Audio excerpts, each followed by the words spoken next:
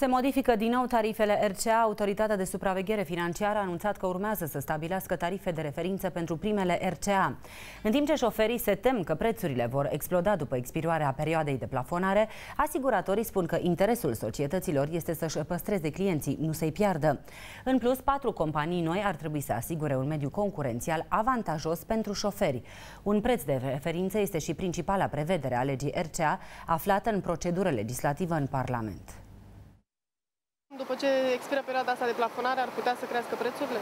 Da, sunt convins. Păi sigur vor crește, că la noi e ceva normal să crească prețurile, dar ceea sigur va crește. În momentul acesta, uh, cât plătiți, sunteți mulțumită? În momentul de față, da. Dar dacă se vor scumpi, o să stăm mai mult pe dreapta. În momentul de față, sunteți mulțumit de tariful RCA? Da, pot spune da, sunt mulțumit. Ar fi bine să rămână așa? Cum ar trebui să se întâmple? În mod normal ar trebui să mai scadă, dar uh, și dacă ar rămâne așa, suntem momentan mulțumiți.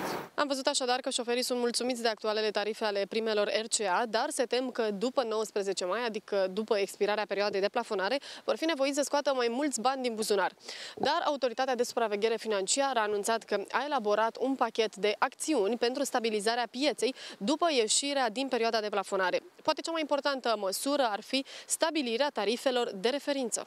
ASF va contracta servicii actuariale de specialitate din partea unei terțe părți independente pentru întărirea credibilității rezultatelor obținute. Totodată ASF va lucra la acest proiect cu Banca Mondială, care va oferi asistență tehnică în vederea consolidării unei piețe de asigurări RCA orientată pe tarife de referință. Ar trebui să existe un tarif de referință pe piața RCA? Sigur că da.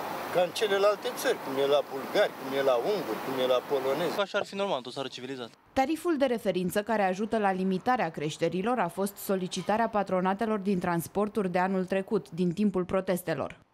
Este foarte simplu uh, să cunoaștem uh, în baza uh, formulei de calcul și a criteriilor care intră în formula de calcul inclusiv a ratei de anualității, să cunoaștem unde trebuie să ne situăm ca nivel al tarifelor, să purtăm negocieri și, evident, să obținem tarifele cele mai bune.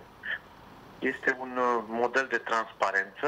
În perioada perioadei de plafonare, piața fiind liberă, concurențială, companiile ar trebui să devină competitive și să se lupte pentru atragerea clienților cu servicii de calitate cu cât clientul este mai bun, nu vrea nimeni să-l penalizeze pentru că altfel îl pierde din portofoliu.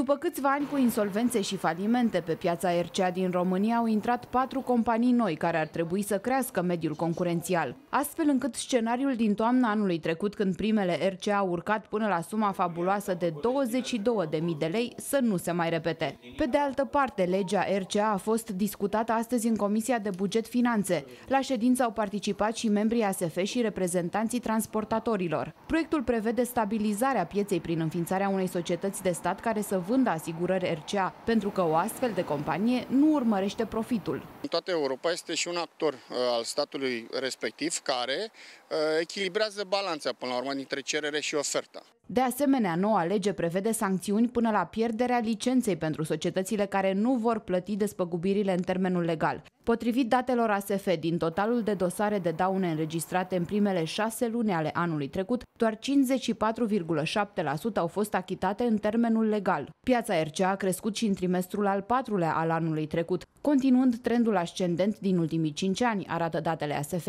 Astfel, numărul de contracte RCA încheiate a ajuns în 2016 la aproape 5 milioane, o creștere cu peste 5% față de anul precedent.